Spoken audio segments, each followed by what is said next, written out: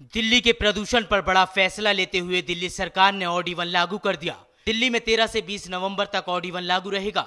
दिल्ली में बढ़ते प्रदूषण पर बुलाई हाई लेवल मीटिंग में दिल्ली सरकार ने यह फैसला किया। दिल्ली के पर्यावरण मंत्री गोपाल राय ने ऑडी वन लागू करने की बात कही। बता दें कि दिल्ली में हर गुजरते दिन के साथ प्रदूषण बढ़ता ही जा रहा है।